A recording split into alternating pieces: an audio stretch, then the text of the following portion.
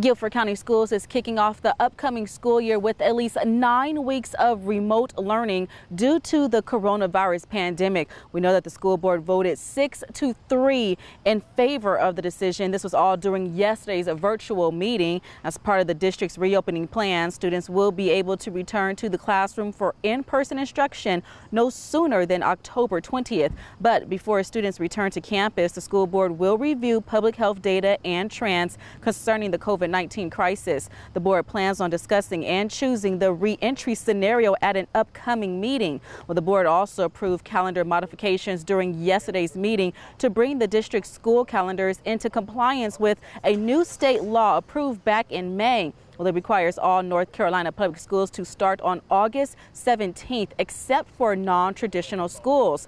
Well, Superintendent Dr. Sharon Contreras is asking parents for patience and understanding during these uncertain times.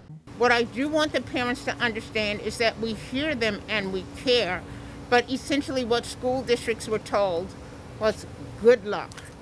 You know, it's the pandemic, good luck, work it out, superintendent, work it out, school boards and we're doing the best we can. But we're not public health officials and we don't have a lot of resources.